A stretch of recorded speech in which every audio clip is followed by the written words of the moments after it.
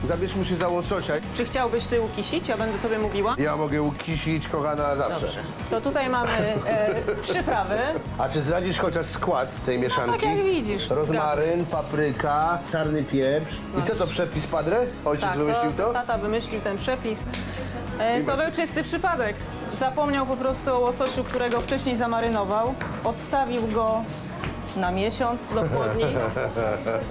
Przyniósł go i mówi, córka, chodź spróbujemy, czy, czy to się nie I popsuło. polubił, i I polubił. polubił i nie tylko on polubił. I co dalej? Bo się Dalej. rozmarzyłem. po Aha, dobrze, teraz może łososie. liść laurowy. Obłóż go liściem tak z 5, 7.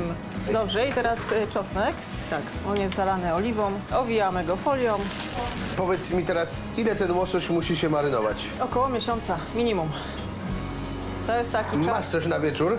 Mam nadzieję, mam. bo trochę mnie tutaj około miesiąca. Tak? I to jest to. To jest właśnie ten produkt końcowy, po który tutaj przyjechałem. Pozwolisz, że się rozgoszczę. Proszę, proszę. Spójrzcie, od e, przypraw, od tej soli, od tego wszystkiego, ten łosoś stał się bardzo jędrny. On, e, można powiedzieć, że jest jak uwędzony. A co do smaku? Mm. Po prostu genialny. Nie mogę uciskać twojego ojca na tę recepturę, ale mogę ciebie, kochanie. Dzięki. Takich miejsc właśnie trzeba szukać, takich ludzi pełnych pasji, pełnych serca do gotowania i takich kultywujących właśnie te fajne, rodzinne receptury. A ja się... Mm.